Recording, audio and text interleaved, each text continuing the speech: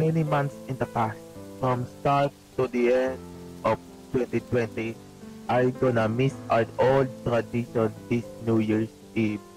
I gonna miss someone like my friends, family, etc. to spend our life during this special year before the New Year has begun. After this nightmare virus, I will see my brain doing our tradition the past years ago. After a few months for now, I will return in the second or third quarters of 2021. That's for now.